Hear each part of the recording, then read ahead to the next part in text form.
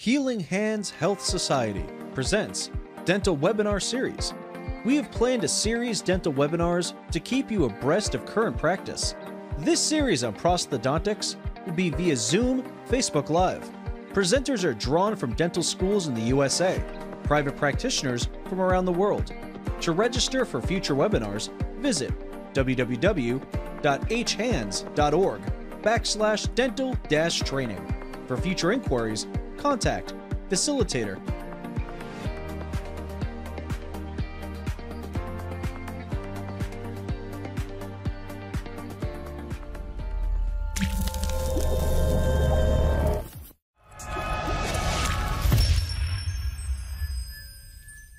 Beatrice Leung, who received a Doctor of Dental Surgery degree at the University of Toronto. And after graduation, she completed a general practice residency at the Boston Medical Center and a three year prosthodontics residency program at the University of Pittsburgh. Uh, during a residency in Pittsburgh, she earned a Master of Public Health degree. Uh, uh, following completion of this program, she became certified as a fellow of the Royal College of Dentists in Canada, as well as the diplomate of the American Board of Prosthodontics. Ever since, she has been in private practice in Midtown, Toronto uh, for the past 15 years, and she has a long history of being involved in prosthodontic education at the University of Toronto and recently joined fac- as, as faculty as an assistant professor with a major role in directing undergraduate prosthodontic education. Uh, she has been recently named as an honorary uh, class member from uh, the 2021 and 2022 class and a recipient of, of the from, from uh, 2019 to 2020 of Dr. Bruce Hord Master Teacher Award. It is a privilege to have you on Dental Webinar Series today, Dr. Leung. Thank you, Uvoh, for inviting me on your platform to share um, my presentation.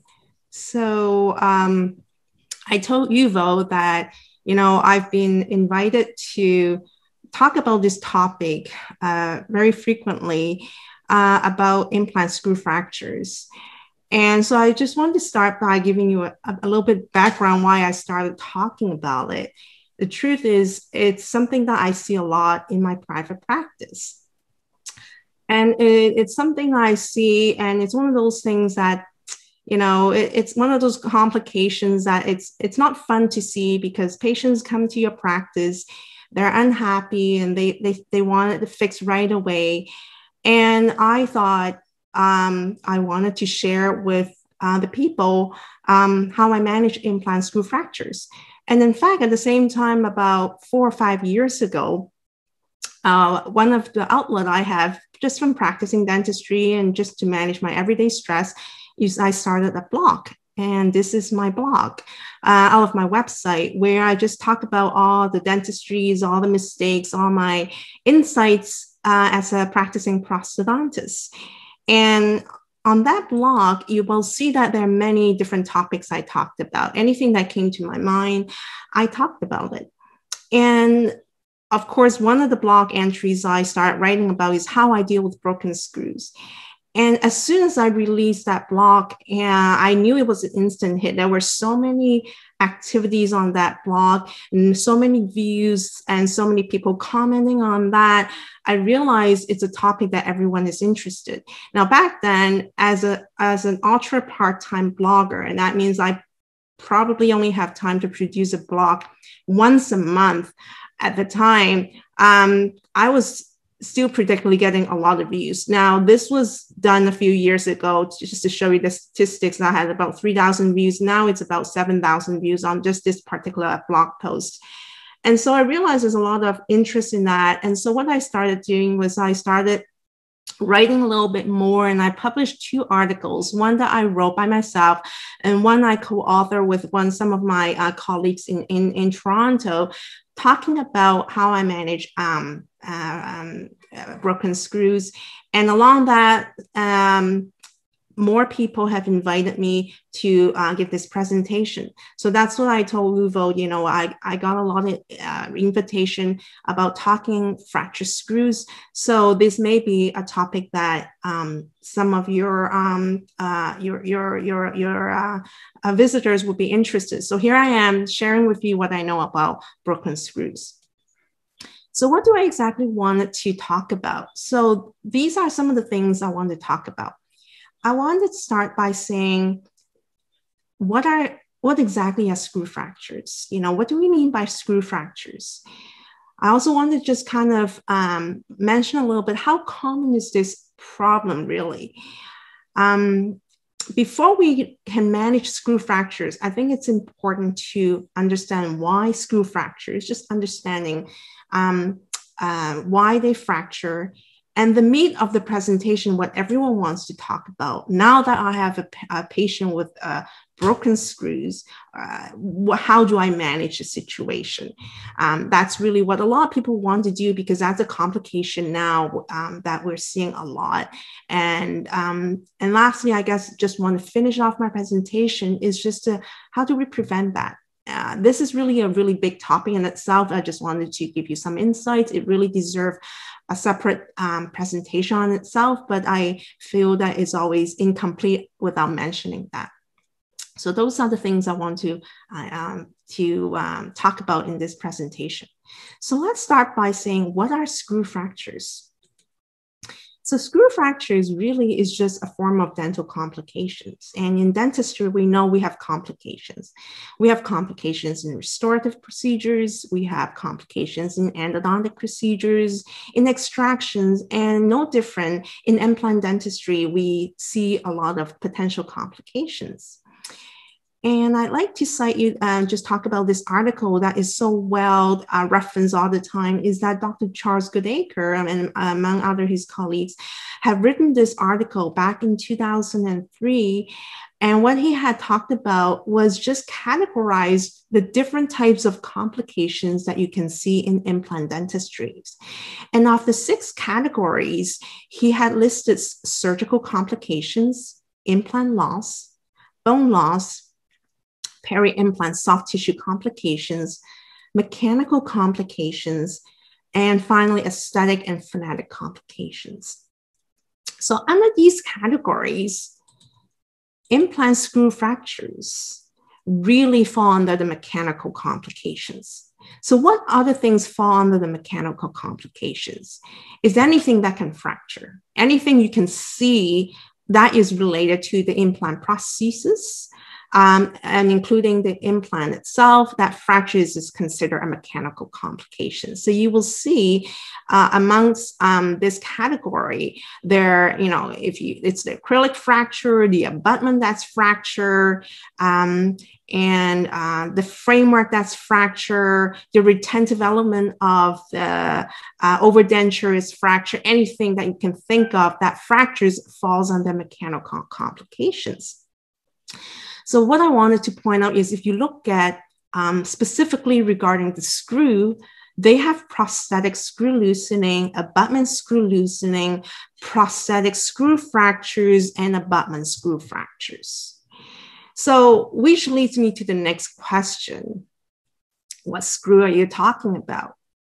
Why I always wanted to talk about that is, I guess, if you haven't been practicing implant dentistry long enough, you may only associate one screw for every implant. Is that you know if you're if you're really new to practicing implant dentistry you associate that you know what you've got an implant you've got the prosthesis that may be the crown and you've got the screw that connect the crown uh, or the abutment to the implant. So in, in, in, in essence you're dealing with one screw with every implant but if you've been practicing implant dentistry long enough and you've been in the beginning phase in the 80s and the 90s, you know that we didn't start that way. You know, knowing how implant dentistry has evolved is that when we started using implants for single tooth implant replacement, um, it was a very complicated componentry if you looked at it there's the implant, there's the abutment, there's the abutment screw, and there's the abutment cylinder, and there's the crown that connects through the cylinder through a prosthetic screw.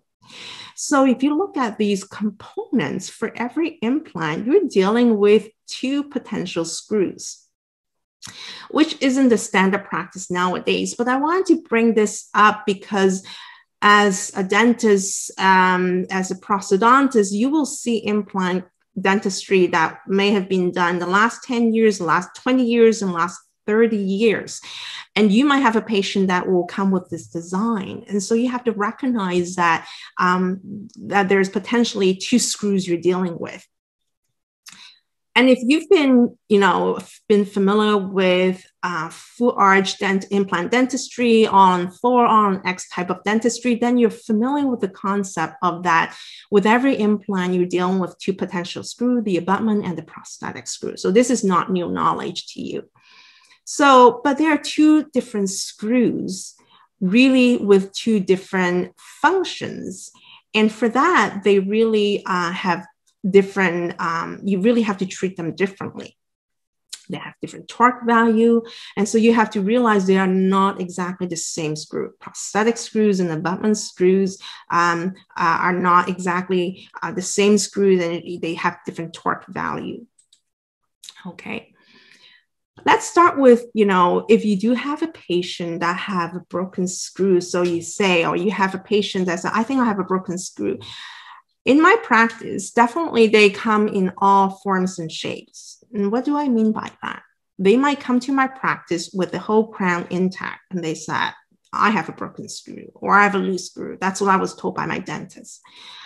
I might get a patient whose implant crown is lost or um, broken off, leaving the abutment intact and part of the implant in the mouth. So they might present to you in this form as well. Or they might act also come in the form where the whole restoration or the abutment is completely separated from the implants, and you will see the implants still in the mouth and maybe even the soft tissue covering the implants. And if you take an x-ray, you might see the fragment that is left inside the fixtures. So they come in all forms and all shapes and forms.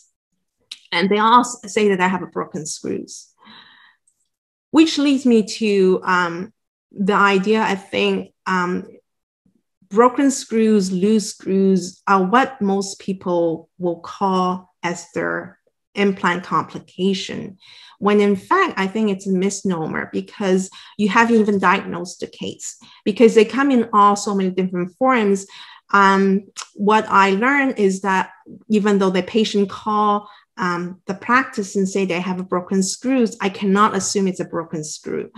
Um, and, and when I was pre- preparing this presentation, I read this uh, chapter um, by Harel Simon on um, uh, dental implant complications, uh, which was titled um, The Loose Implant Restoration Syndrome.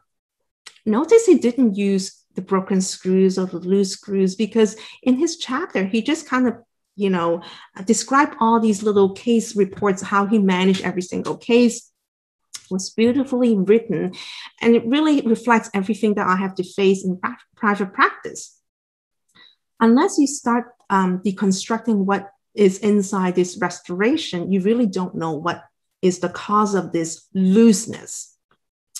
So instead of calling things broken screws or loose screws, I think we should start using this term, loose implant restoration syndrome. and why I say that is that you haven't committed to um, the fact that it's a broken screw because once you start labeling it a broken screw, you have the assumption that you just have to deal with the broken screws. You may you think that you just have to retrieve the screws and maybe buy new screws and, and replace it, and that's the end of it, and then the patient will be good to go. When in fact it's a lot more complicated in his chapter, his, he listed these are some of the differential diagnoses of the loose implant restoration syndrome. It could be the loose screw. It could be the abutment uh, screw that is loose. It could be the prosthetic screw that is loose. It could be the prosthetic screw that is fractured. It could also be the abutment screw that is fractured. It could be the framework that's fractured. It could be the implant that's fractured. It could be the restoration that got loose, that the cement has washed out and it's just a loose crown, or you're dealing with an implant that has failed. And definitely in my experience, when I've seen a lot of these um, cases where they all come to me with the chief concern that I have a broken screw or have a loose screw, they, after deconstructing the situation, they might fall into one of these categories. So my conversation with the patient is that, you know, before I start doing anything, is that you might have a loose screw, you might have a screw that is fractured. It could be something inside the restoration that's fractured, even that maybe the implant is failed. I don't know which one it is until I start deconstructing the whole restoration. So I think it's very important to recognize that. Don't jump to the conclusion that it is a broken screw. If it is a broken screw, um, that that's how you're going to manage it. But when you start having patients that come through the, the, the, the, door and you haven't even diagnosed the case, it could be um, one of these potential um, uh, diagnoses. Okay.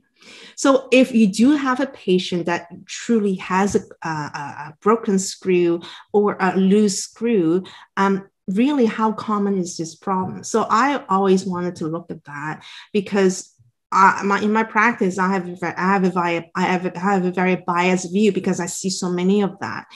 So when I go back to the literature again, uh, one of Dr. Charles Goodacre's articles, when he talked about the clinical complications with implants and implant prostheses, and he looked at the incidence rates of these uh, um, complications. At the time, he said that the screw fractures is about two to four percent and the screw loosening is a little bit higher at 67%. Now, when I look at these numbers, they're not very high. And also, what I told myself, well, this is an article that was published in 2003. And that means this is based on implants that were mostly done before that time. And we know that implants before that time, in, before 2003, the implants that were done in the 90s were mostly external hex implants. Um, and we know that we kind of moved away from the external hex to more internal connections. So I was curious with, you know, with the different type of connections, has that um, change the incidence of these implant complications. And luckily, when I was digging into the literature, I came across this article, which is more current, uh, that was published in 2019 and that they uh, looked at uh, for the same reason they said now with more new implant design has that changed um, in the incidence of uh, screw fractures of single or splinted implant prostheses? And what he had concluded is that the screw loosening is still around 7% to 11% but the actual screw fractures now is around 0.6% so it in fact has decreased which I always find that it's hard to believe because I see so many of that. And I and, and just by the pure um, interest in my blog on broken screws, I always wonder if it happens more in private practice that is not documented. Uh, and and and so I always have this um, interest where maybe it's happening a lot more than it's documented but that's a you know a subject on itself on a, maybe a study uh, on on a different day. So you know question yourself you know you know with these numbers uh, are these really uh, uh, true incidents or it's just underrepresented in private um, practice setting so now let's get to understand how screw fractures, because like I said, before you can understand how to manage or prevent screw fractures, you actually have to understand a little bit about the screw mechanics. So that's what I want to talk about. So I wanted to go through a mental exercise with you guys. Um, in case you haven't learned about how screws work in an implant restoration, let's think about this situation. You have a single tooth implant. Um, let's consider this, you know, you've tried this in, everything looks good, um, and you're about to insert it. And before you seal off um, uh, the access hole, if it's screw retain restoration, you need to um, torque the screw. So, what exactly happens when you're torquing the screws? Let's go through that mentally, what happens. So you have a screw that is going to kind of hold the rest, rest connected restoration to the implant together through this screw. And ideally, um, you would need to have a torque wrench that will precisely allow you to um, apply the right torque to the screw. But what exactly is happening when you're torquing the screw? So when you have the driver that engages the screw, and essentially you apply the torque, you are actually applying a rotational force to the, to the screw. So when you're applying the rotational force to the screw, essentially what's happening is the screw is being tightened. As it's being tightened, what exactly happens to the screw? The screw actually elongates okay? It elongates and when you, you you know that it actually creates a tensile force inside the screw. Now understand this happens at a very microscopic level that you don't necessarily see with your physical eyes. Essentially um, the torque that you're instructed to apply is supposed to apply within the elastic range um, um, of the recovery stage. So you're not permanently de- deforming the screw. Essentially, when you're applying a torque by applying rotational force, this screw will elongate. And in, t- in turns, it creates a tensile force in itself, but it's trying to bounce back because, you know, it's your this force is applied during the elastic recovery stage. You're not causing any permanent deformation to the screw, but that's how um, the material is going to react. You know, when you try and pull something away, it create elongates the, the screw. It's trying to bounce back, and it's this bounce back, that is going to create a clamping force between the components that are holding this together. And this clamping force is what we call um, the, the magnitude of this clamping force is what we call the preload of the screw. So again, so when you tighten the screw, you're going to actually elongate the screw in a very microscopic level. You're not going to see it elongating, but what it does, it creates a clamping force. Okay, a clamping force that holds the components together. And this clamping force is what we call you creating a preload to the screw. And that's going to hold this component together. Okay. So if you understand this whole screw mechanics, you will know that whatever that's going to disrupt this um, joint assembly, this disrupt this clamping force is going to cause the screw to loosen. Okay. So really, uh, we're going to call this joint separating force. Anything that disrupt this clamping force, we're going to call these joint separating forces. So it's really easy if you start thinking about that. If you have forces, joint separating forces that exceeds this clamping force, then you're going to start disrupting and it's not going to be able to hold the, the components together. And you're going to start having screw loosening. You're going to start lose the preload and you're going to start seeing looseness in your restoration. Okay, so what are some of the joint separating forces that exist in the mouth? You know, intraorally, um, if you look at this, it's a lot of occlusal forces if you haven't managed properly. Off axis occlusal contacts, lateral excursive contacts, interproximal contacts between natural teeth and the implant restoration. If it's excessive, that can also um, create a, a, type of joint separating forces, protrusive contact, parafunctional forces, and even non passive frameworks that can create these joint separating forces when components or the framework are not fitting passively it's a, a, a form of joint separating forces so the way I see it is a constant tug of war. You know, you've got this clamping force that you have established in your screw that's holding things together. But in the mouth, if you haven't managed these joint separating forces uh, properly, it's going to pull them away. Can and whichever won is um, is stronger is going to one the war and and and that's what you're dealing with it's a constant tug of war between the joint separating forces in the mouth and the clamping forces that you have in your screw um, joint assembly and so eventually if you do have joint separating forces that exceeds um, the preload or the clamping force, you may start getting screw loosening. And if it's excessive, you can actually get screw fractures. Uh, if you you have a screw that's loosened and you try to keep tightening it, you're going to have fatigue of the material, and that you you may eventually get fracture of the screws. If you have um, a non-passive fit of the superstructure, that can also lead to screw fractures.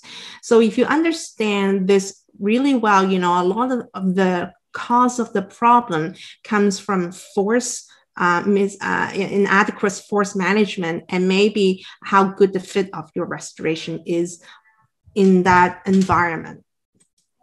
Okay, so hopefully that will give you some insight of why do screw fractures. Okay, so now let's talk a little bit about how do we manage screw fractures, which is really what a lot of people want to, to learn about. Now that I've got a patient in the chair, I've got a, a, screw that's loose or a screw that's fractured, how do you manage it? Okay, so this is me sharing with you what I've learned over the years. When I started seeing a lot of that, there wasn't a lot of available literature for me to go by, but over the years, I start assessing the situation so I can create a strategy to manage them. so for me, I look at where's the broken screw? Uh, the location of the broken screw. Is it above and below the first thread inside the fixture? Immediately, that tells me it's easy to get to. If it's far inside the body, access and visibility is hard, which leads to my next question What's the visibility and access of the broken screw? On top of where it is located inside the fixture, I like to see if there's anything in the way you know, is the crown still intact? Is the abutment still intact? If they are gone, maybe there's soft tissue that's covering it. Okay. If it's an anterior implant, say a posterior implant, that also gives me an idea how easy to access the area. I start to look at the um, the amount of opening the patient that can open, the angle they can open, how much interocclusal clearance do I have to access that area? That get, gives me an insight how difficult or how easy it is for me to retrieve or to, to manage this broken or loose screw if I can see the actual fragment, I wanted to use an explorer and see whether I'm dealing with a very uh, tight um, fragment that is stuck, or maybe I can see a, a, loose fragment. Sometimes you, with an explorer, you can see a little bit of movement that tells me the fragment is actually loose, which immediately tells me um, the likelihood that I'm able to retrieve it or not. If there's no mobility, I know I have to, I'm dealing with a very stuck fragment and that might requires uh, more efforts if uh, if I can see where the fragment is, I wanted to see if the screw head is still intact. You know, sometimes if I can see it, I wanted to see if it's intact and I want to see if it's uh, straight. Um, if I know that what type of implant, what type of screw it is, I wanted to know what type of potential driver I need to get to the screw head and the diameter of the screw head that I'm dealing with. Because now we're dealing with so many implants out there. They all come with different sizes and forms. Um, you really have to equip yourself with so many different drivers um, to manage these type of complications. So this is kind of my way of starting to assess the situation. But what I want to share with you is what I find uh, what other people have done this is something I just came across from the website, you know, when I was researching this topic just to see what has been written about this topic. And this uh, website talked about classifying the screw fractures again um, along the same line, I wanted to see is this about the first thread or below the first thread, and is it mobile or non-mobile? And based on that, he had categorized them as type one, two, three, and four. So it's really simple, but it just kind of gives you an idea that we all look for the same thing. Is it above the first thread, below the first thread? Is it loose? Is it not loose? Because immediately gives you an idea how easy and how hard it is to manage the screw fractures this is um, kind of um, um, a decision tree or um, um, uh, uh, uh the flow chart that was uh,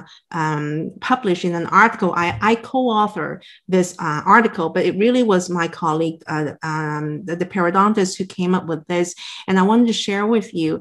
Again, you know, he he, he suggested just by trial and error, he came up with this um, decision tree or flow chart how to manage broken screws. You start with a clinical assessment. You take an X-ray, and you wanted to see again the space between the crown, the abutment. Along the same line, he's like, then he he he, he wanted to look at the restorative assessment. Is there a crown abutment present? And then is it a, a screw that is tight or loose? So along the same line, you wanted to see if there is anything in between where it is below the fixture. But what I really wanted to point out is that what, uh, you know, if you were able to um, retrieve the screws, um, the next thing he, he talked about, which a lot of people don't get to talking about, is you want to evaluate the implant to see if there's any internal damage because of all the hardware and complication that had happened in the past. You know, even if you retrieve the broken screws, that implant might have been damaged. And he's, he, uh, he, he recommended assessing the internal damage. And what I thought was really interesting is that rather than just by visualizing with magnification, he suggests taking a PVS uh, uh, impression of inside the implant which is I, I, thought was very creative. So I always want to share that because you know you can only see what you can see. But he suggested taking an impression after the retrieval and take out and look at the impression, so you can really see if there are uh, damage to the threads inside, which is quite creative. And, and, and, so I always wanted to share that. And alongside, if it is uh, restorable, then you can restore the implant as normal. The, the last thing I wanted to share with is this is uh, the article that um, I came across. Um, that has been um, the most useful article I came across when I was, you know, um, looking at what has been published about managing screw fracture. There's a lot of case reports, a lot of case reports about a dentist or prosthodontist talking about what has worked in their hands. So it's very isolated case reports that may or may not work in your specific case. But what um, this uh, article had done is he they pull along all the published articles about managing um, abutment and prosthetic screws and made it into a decision making tree for managing it. So what he did was he, he they also have a little decision tree um, in assessing the situation along the same line. You know, can you see the set fragment? Is it loose? You know, if you follow the decision tree again, we look at the similar themes. You know, can you see it? Is it below um, the fixture level? Is there mobility? And then based on that, he suggested several strategies but I really wanted to um, show you his um, strategies. He's categorized all these published procedures into low, moderate, and high risk procedures. Really, ultimately, I think he's really set the stage how we should approach broken screws because there's so many documented procedures. Before you start I, uh, using any of the procedures, he suggests that we should always use procedure that have low risk um, procedures. And what is the risk that we're talking about? The risk of any retrieval procedure is the risk of damaging the inside of the implant. If you um, damage the inside of the implant, then ultimately you may end up not being able to reuse that implant for restoration. So um, he, he, he, he, what he did was he, he categorized all these procedures to low, moderate risk, and also based on level of difficulty. So he suggested using anything that has the lowest risk to damaging the implant and things that are fairly easy to do to moderate risk and high risk. So I think he really kind of, you know, and that's something that I've been doing all the time is just not thinking about it. I always start with some of these documented low risk procedures. If that doesn't work, then I move to the next category without having to think about this um, uh, systematically. But what he has done, he's actually published it and talk about this is how you should be doing it. So I, I think that really set the new stage and, and, and standard how we should be managing screw fractures rather than based on case reports, what they did, what he did, what I did, what worked, what didn't work. Is that, you know, he had a, a more system, well documented system that makes sense to me. So I think this is the best article that I've come across so far. So what I wanted to share with you again, based on his uh, uh, his um, article, is that what are some of the low risk procedure that we've um, talked about and we've we've seen and used. Um, some of the the procedures that have been documented is that you know using an explorer just to kind of uh, wedge between the fragment if you can see it and apply anti-rotational counterclockwise uh, movement and trying to engage a fragment and hopefully you can back it out um, we also have seen people using rotary instruments in trying to modify the screw in one way or another with some sort of a burr. So I'm going to talk a little bit about that. Okay, there's certainly screw retrieval kits out there um, that have been available for purchase for you to manage broken screws. So I'm going to talk a little bit about that as well. And also, you know, one of the things is that um, once you retrieve the screw, if there are some sort of maybe internal damage, um, some of the strategies you might want to try to retap the implant, redefine the threads inside the implant so that it can be usable. Okay, so let's talk about um, the low risk procedures. Okay, what has been published out there? Most of them are the, these low risk procedures are using whatever dental instruments you have at your disposal. Okay, most of the time, I've read about using an Explorer, a curved hemostat, some sort of ultrasonic scaler, or even a spoon excavator. And if you have to modify them, then modify the instrument to fit so that allows you to engage or to get inside where the broken fragment is and hopefully you can engage it and apply some sort of rotation vibration or counterclockwise movement to get it loosened to so you can retrieve the fragment. And because this is the lowest risk that will result in the least um, uh, the lowest risk in terms of damaging inside the implant. Okay, so this is just showing you one of the cases I did was that, you know, you can see this is uh, uh, two implants where the crown had broken off and when by the time I saw the patient, um, the soft tissue has already covered up this um, two implants. But to me, when as soon as I took the um, uh, an X-ray of this situation, I knew it wasn't going to be a heart retrieval because what I noticed is that I can clearly see the fragment. It's pretty much at the crestal level, so I know that as soon as I uncover the soft tissue, I would be able to see it. And, it, and if I can see it, then the chances of me to retrieve it is much higher. And it's not so much deep inside the apical third of the implant, but it's more of the coronal third of the implant. And so what I actually did was I removed the soft tissue. I just incise and flap, just fold back the tissue. I actually use a combination of an explorer, wedging it, just get to loosen this part. And also I use a hemostat so I can retrieve this. Okay, so that is actually not the hard part. Once I retrieve the components, um, I thought maybe I can just order new screws and reinsert this implant uh, crown. So what I want to share with you is that when we order new screws, we couldn't fit through these opening. And if you look carefully enough, you can see the damage, the, the wear and bending uh, happening around this. So there has been some wear and tear happening at this connection point um, that has resulted in this whole complication. So um, the lab technician were, was able to um, kind of make some adjustment at this. At the time and we were able to finally get the screw to get in uh, to put this implant crown back on.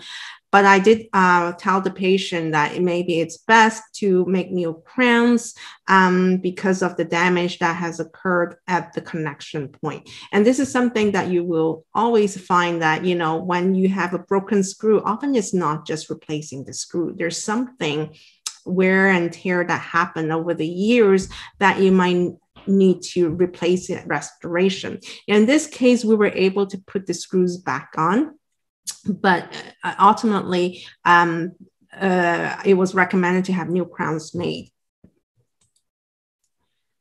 Okay, so that is just, just an example of low risk procedures. Now let's talk about what are some of the documented um, uh, moderate risk procedures. Um, if you look at this um, kind of list, you will see that uh, the common theme in the strategies is you use some sort of rotary instruments, you use some sort of burr um, to engage the fragment um, and hopefully using rotational um, vibration um, uh, movement that you will loosen the fragment to get the fragment out.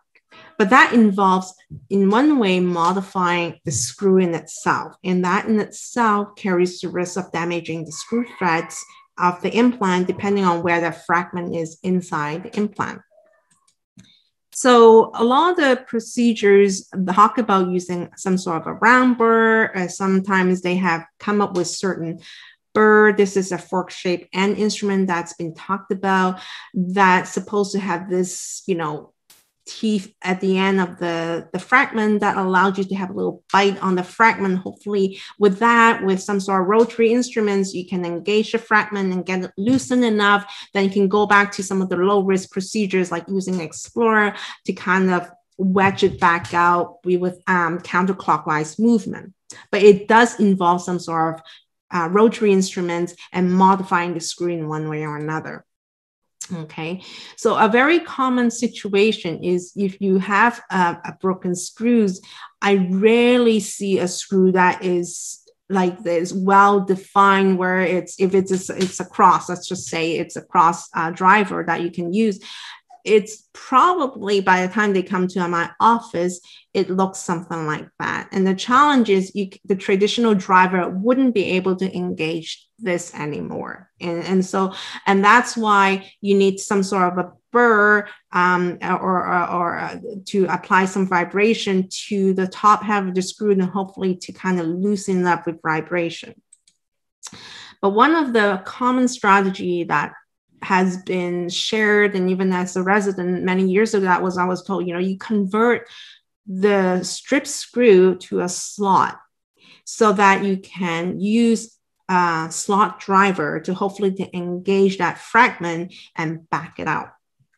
Okay so that is uh, one of the strategies i've always used is if i cannot loosen the fragment with an instrument with an explorer with vibration then i will start considering um, modifying the top portion of the fragment in, in the form to make it like a slot configuration.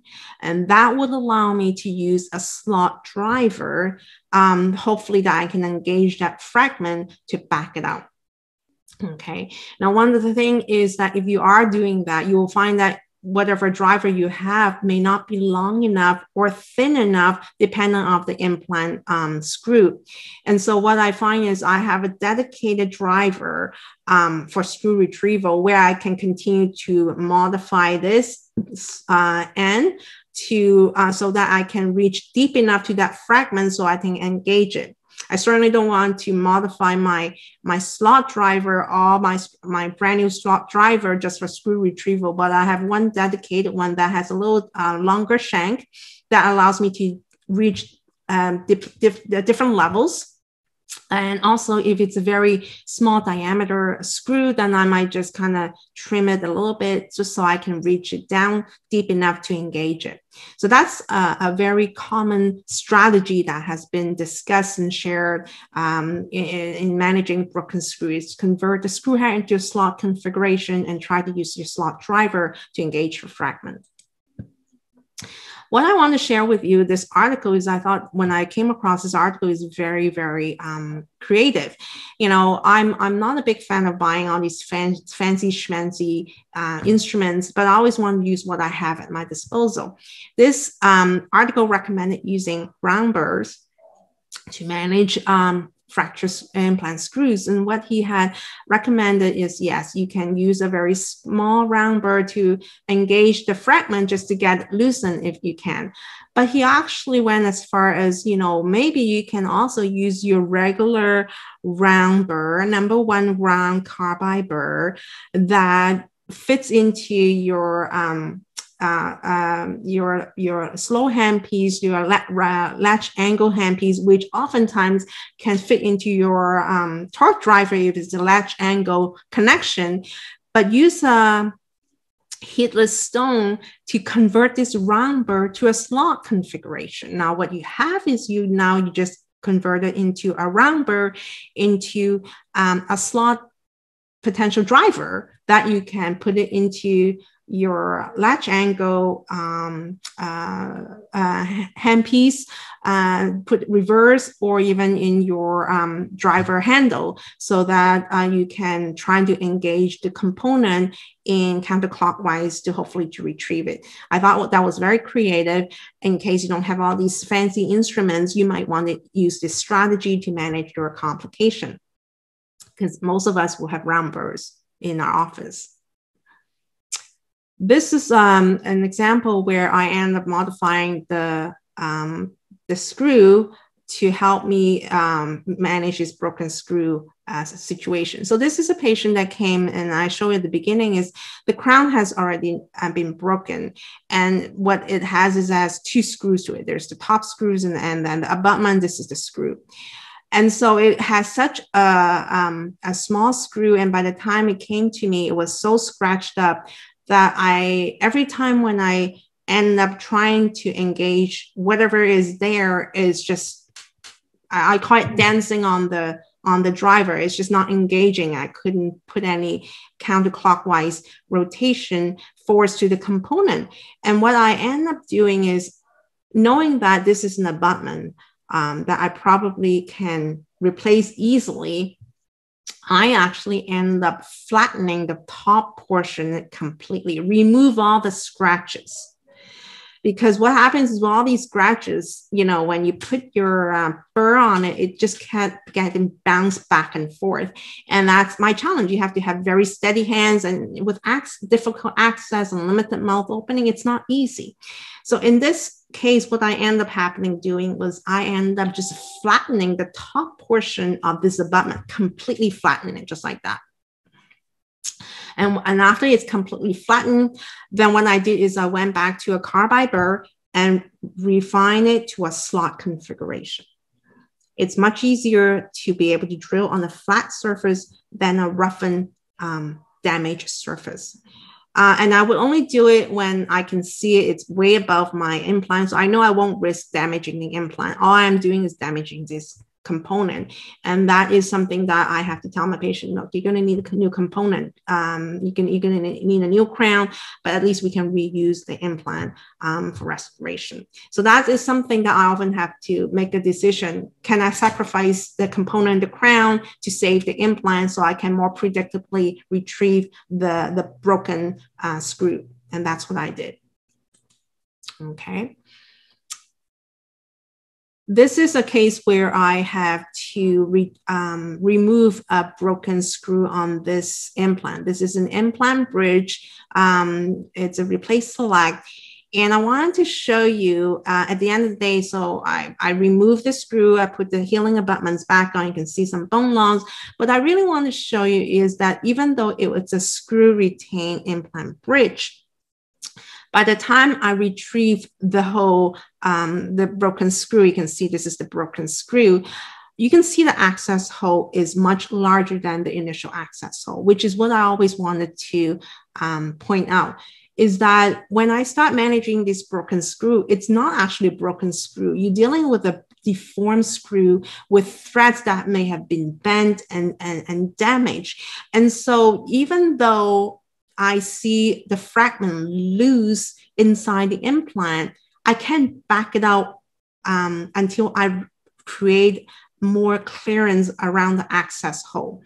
Um, I, I, I, have to create more clearance, uh, a bigger opening to allow the screw to unwind itself occlusally. So I, I call it, I create a ring of clearance. Even the screw is much smaller because the threads actually damaged, actually have to wind up itself and occlusally, and I have to back up and create much more opening so that it can back itself up. So the way I want to explain to you is that if you have a brand new screw, you can really create a very conservative opening in the access opening because everything is all brand new and it, it's it's it, it's going in one direction. It's, it's, showing you, you know, this is uh, the driver. You know, it, you don't have a lot of room between the shank and the opening because it's a brand new screw. It's not damaged. But when I find that when I'm dealing with a damaged screw, I have, even though I can see movement inside the opening, it's oftentimes binding against the walls of this access opening because the threads of the screw may have been damaged and for it to unwind itself it needs a little bit more room to come out. And so i often have to again sacrifice the crown by creating a much bigger opening to facilitate this broken fragment to travel it up occlusally so it can be retrieved and you can reuse the implant so that's something that I have found with experience. I find myself doing is that I have to create a bigger opening than initially it had, um, and in order to get this uh, fragment out of the implant. Now I want to talk about screw retrieval kits. And so, obviously, with this implant complications, there are many companies that have come up with these ret- screw retrieval kits um, to help you retrieve um, the broken fragments. I don't actually have these kits in my office because um, I, I find that most of my low risk procedures and, and moderate procedures have helped me to retrieve these components. But what I wanted to share with you is most of these kits have very common elements. They um, they will have some sort of a drill. They will also have some sort of um, uh, uh, um, uh, drill bit for you to engage the fragment. Okay, so most of these screw retrieval kits will have a set of drills of different dimensions, shapes, and length. And the goal is to engage the fragment so you can apply some reverse torque to back it up. Okay, so they can come with so many different drills depending on their drill kits. But the idea is, is that it allows you to engage the fragment. So much like you can use your modified round burr, but they might have been longer, thinner, and then maybe better teeth so that you can engage the fragment. And, and so you might want to use that. But alongside is they will give you several drill guides, drill guides that kind of like sleeves that sits on top of the implant. And the idea is it will help you align the drills in a way that you can just focus on drilling the fragment and hopefully that will minimize the damage on the walls of the implant inside. So these drill guides or drill sleeves will help you to align and angulate the drill in a way so you can direct um, in, in, the, in the same direction to minimize the damage to the internal threads of the implant. And the third thing that often comes with these kits is they have these retapping tools. If you do feel that you may have some thread damage, that they will give you these little tools to rethread, uh, retap the inside, the internal structure of the implant. Hopefully, you can reuse the implant again. So these are what retrieval kits usually come up with, and um, you can certainly try them. Um, and there's so many out there, um, and, and, and, and they all come with similar elements, you know, with the set, set of drills, some drill guides, and retapping um, instruments. Now I want to move to the last category, high risk procedures. Let's say you know you start with your low risk it's not budging you couldn't engage it. You try to modify the screw in whatever way you see fit but it still is not moving. It's like you, you might say that it's cold welded inside. What do i do so um, or sometimes after all your screw modification you end up you know you, you end up drilling and drilling and you you you drill all the, way inside the implant that the internal threads are damaged to the point that um, any components don't, uh, any new screws don't really fit and engage the implant anymore. So if you look at these high risk procedures, it involves modifying the implants before you you consider explantation before you consider um, uh, removing this implant altogether or start all over again.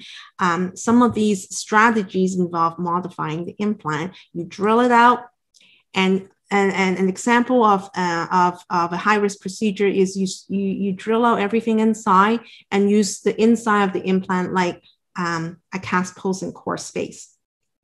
Okay, so this is uh, an article where um, it, damage, uh, it demonstrated that. So this is uh, an article where they talk about this implant uh, had a fracture locator abutment. You can see that this is the fracture um, uh, screw inside the, the, the, the, fixture. And after screw retrieval, um, you can see that someone's drilled inside and, and they've remove the fragment, but now it really doesn't engage. You cannot really find a locator abutment that will fit inside the space here.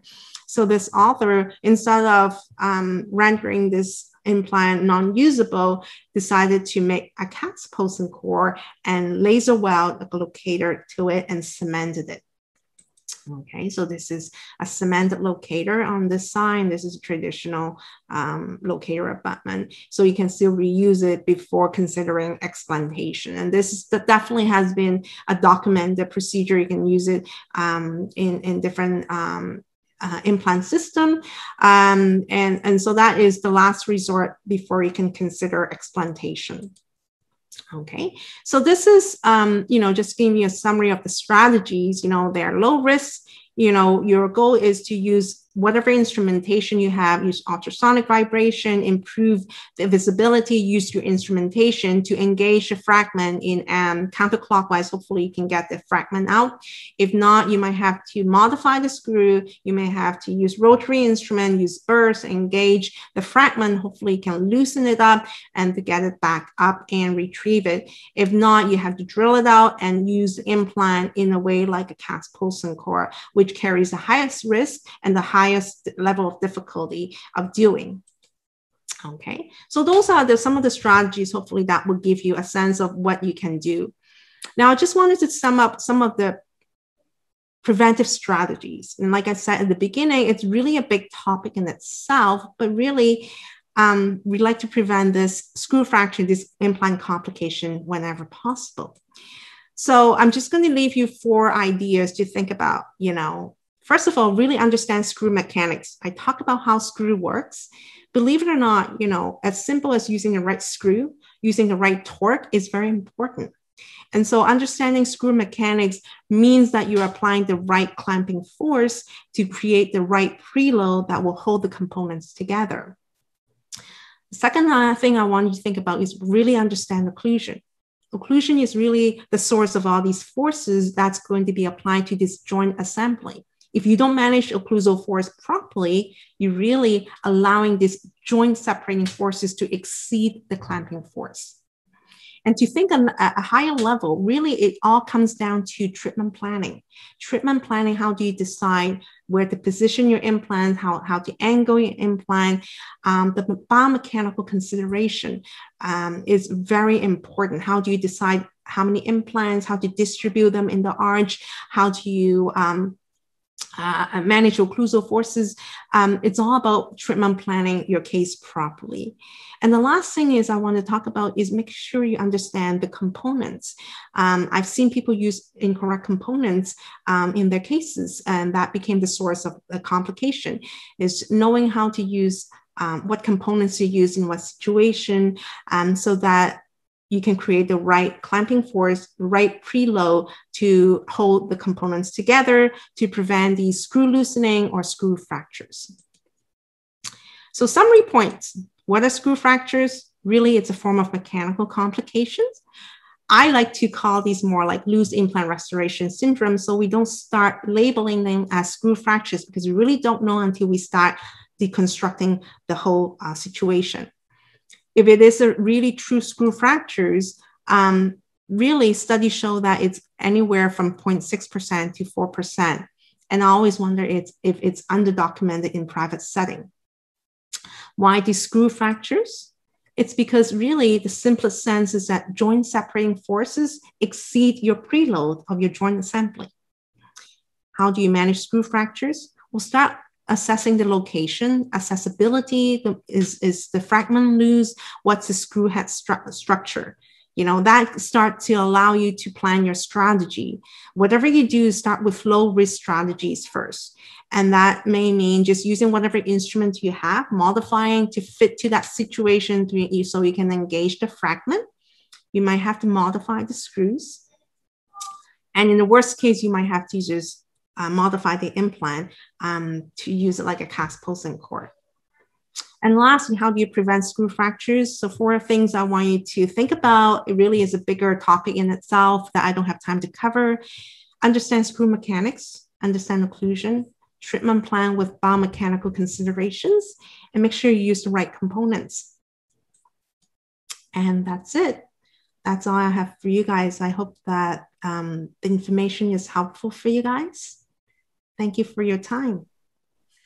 All right. Thank you. Thank you so much. Um, uh, I believe we do have a couple questions. I actually have um, a patient right now, as you were describing. I'm like, I'm like, I need to, you know, go through, uh, go through your, your, your, a method of trying to ascertain exactly where the fracture is. But uh, I guess we'll discuss it. Well, let's see what question we have here. Um, is uh, uh the first question says, uh, what will be the likeliest uh, reason that the abutment screw of a single crown fractures within uh, within the hour of restoration uh, of, of being placed? I would say that it wasn't seated properly to begin with. I, at the dental school, um, I, I, I find that um, there's a lot of screw loosening within the first six months, and we do a lot of screw retain restoration. And I, I think that, and that's where I, I, think, you know, if you're new at inserting implant crowns, um, implant crowns don't have periodontal ligament. And so um, you may have gotten away with delivering a single tooth crown um, tooth supported crown with maybe a little bit tight interproximal contact, maybe a little bit high occlusion, but periodontal ligament uh, actually is it gives you a little bit of um, a safe way, and it, it, kind of moves a little bit, and and then in, and then it it's it, it will kind of self correct itself. Whereas for an implant crown, there's no ligament, so you got to be really careful of adjusting the proximal contact and um, the occlusion. So I think if it just fracture or brokenness or, you know, uh, I don't think the implant crown was seated all the way. And when it's not seated all the way, even if you torque it, I don't think it was creating the right clamping force to hold it together. And that is probably if, if it, it, it broke, it breaks or if it's uh, in, in such a short time, and that means something is not right at the joint assembly. Either it's not seated, it was the wrong screw or the wrong torque. Okay, nice, nice. Okay. Uh, another question Does screw loosening uh, occur in both screw retained and um, cement retained cases? I don't know what you mean. Yeah. Okay, so what's the question again? Yeah, the question says Does screw loosening occur in both um, screw retain or cement retain restoration? Yes, yes, they do. Um, uh, I, I, find that they do. It's a little bit more uh, challenging if it's a cement retain restoration. I find that I see more of that years later. And I think that's because um, I see referral, you know, patient has a cemented implant crown in the front, and then years later it got loosened and and you might ask why. I think the occlusion change occlusion change and then I start banging on that implant restoration and it, it, it it's loosened. Now the trouble is trying to uh, access that screw becomes a problem because it's cemented and depending on what types of cement um, i might have to drill through the crown in order to access the screw. Yes yeah.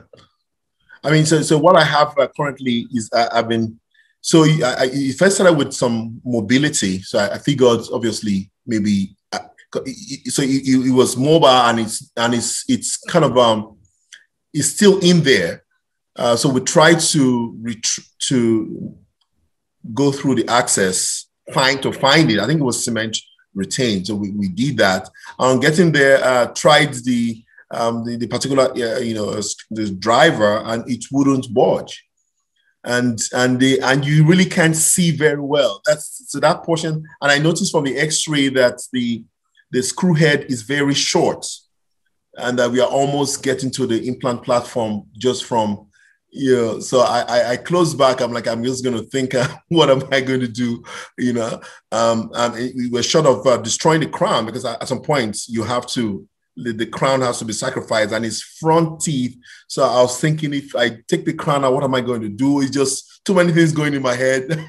I closed it up. I said you know i'm going to come back and uh, maybe order a, a, a temporary abutment, you know, a temporary, you know, abutment, you know, crown so that I can make a temp just in case uh, that I'm not able to retrieve it. Because it, so once you are able to take the head out, what are the, the other parts that is in there?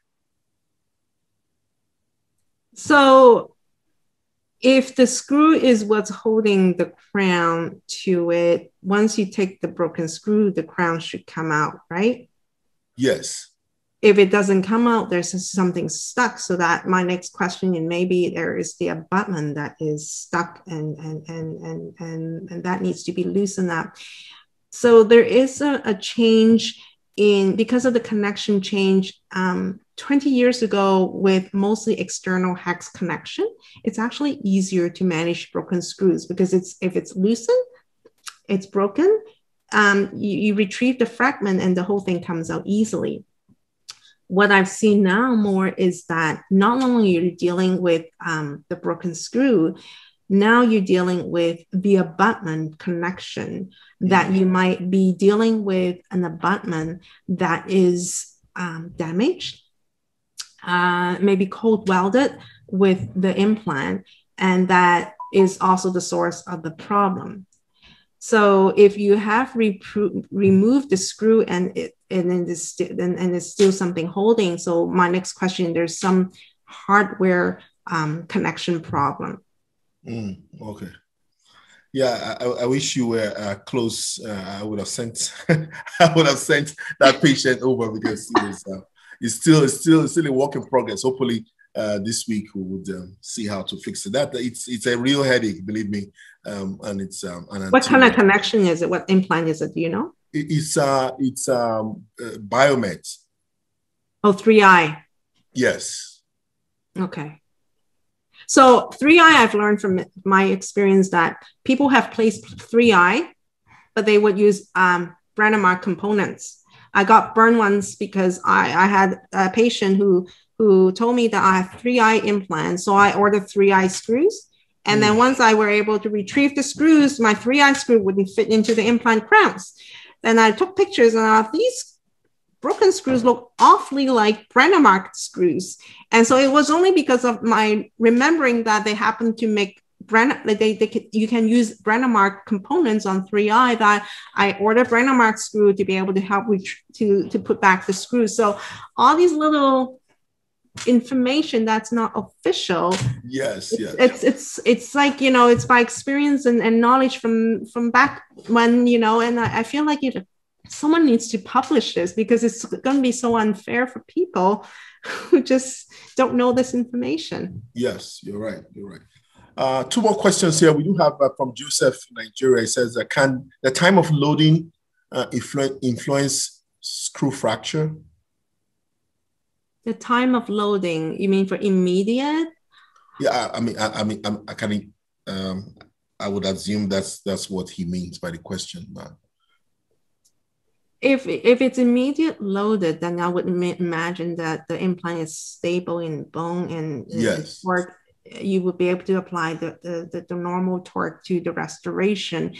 Um, then um, you should be able to um, use the screws what I think is with immediate loading, oftentimes the restorations um, may not have fitted as well. I mean, if you look at traditional immediate loading, on four, you know, they you take the impression, you convert the dentures to the implant. On four restoration is all acrylic, right? And if you pick it up intraorally, uh, with chairside acrylic, whatever material you use, there's an awful, there's a lot of uh, polymerization shrinkage error that can happen. So I tell you what I do is I, uh, you know, I know that the fit that is chairside converted may have some errors in itself. And so then when you're screwing it in, then you're you may have not a passive fit restoration. That may be the cause of the, the, the, the fracture and screw loosening. Okay. Um, two more two more questions here. Uh, uh, Mila, can you hear me? Yes, doctor, I can hear you very well. Yes, your hand is raised up. You have a question. Yes, I actually I have four questions. Wow. okay, Dr. Mila Joffrey is, uh, is calling in from Iraq. Go ahead. Uh, first of all, thank you for the extraordinary webinar, doctor. Thank you. Uh, the first question is, uh, what is the type uh, of system that's easy to retrieve? And a screw system that's easy to retrieve. Is there any any system that's easy to retrieve? Which is the easiest? You mean system? Yes, the screw. Uh, we have Screw retrieval kits? Uh, I think maybe implant system. I know you talked about external hex and and so is it Yes, easier? yes, yes, yes. Oh, Which yeah. So, so, you know, if you understand the history, when external hex system was developed, it was meant that the screw is the weak link. You know, they wanted to protect the implant from overloading. They're afraid that overloading the, the, the implant, it's going to cause bone loss. And it was supposed to be the screw that's the weak link. And if you have issue with the screw, then you you, you retrieve it and you, you change a new screw. And so um, and because of the external hex connection, once you retrieve the screw, once you remove the screw, it is so loosely, well, it, it is an external hex. It just doesn't connect to the implant the same way. Whereas internal hex or Morse taper type of connection, when you have a abutment that sits on this on the implant, um, it's much more stable. And so, uh, and so now I'm seeing you don't see necessarily see the screw fracture, but you see the abutments fractures. And then that's actually harder to deal with. You know, I see zirconia abutment fractures, and that's always a pain trying to drill that out. Um, and so that created a new problem. So if you ask me what is the system that it's easy for screw retrieval, external hex, but that's not what everyone is using now. Um, it was a system um, that was designed so that the screw was supposed to be weak link and it's, it's easy to fix you know um, but because of that that probably created a lot of screw related problems and with time people design better connection so that you know the screw joint the screw is not the weak link anymore um, but then it still doesn't mean that if you don't treatment plan properly, the force, the excessive force will cause something to break, so break down. And so it maybe it's not the the screw that's fractured now the abutment if you don't design the abutment well enough strong enough at the connection um, that can fracture. And that's what we've learned when trying people are trying to use a comey abutment um, it, or, or all ceramic abutment for aesthetics those abutments always fracture eventually. I, i'm replacing these after 15 years. So now people talk about zirconia abutment but ti- titanium based connection because they realize they really need the metal connection they don't they you can't rely on um, zirconia or ceramic as the connection surface to the implant interface Right, I see. Okay. okay, my second question is uh, would the would the, the wrong VDO with the wrong VDO would the prosthesis break or the screw or the abutment or the all implant will fail? Which will break first? What is the first thing to fail there? if the VDO is not restored properly? Yes, we know that the muscle will always win.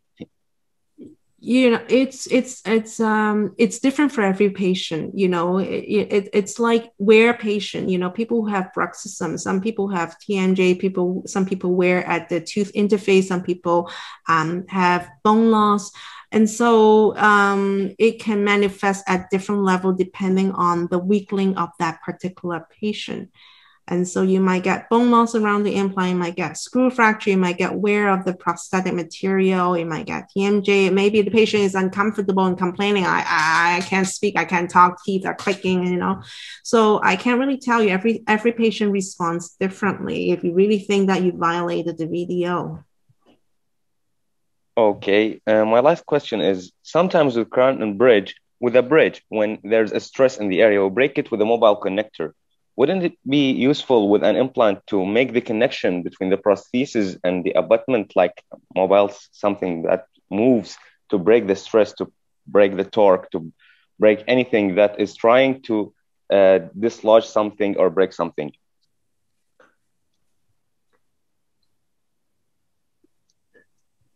so you're considering if you have a bridge is to use some sort of a stress breaking connector yes, uh, would that be uh, I can uh, would that be applicable with an implant?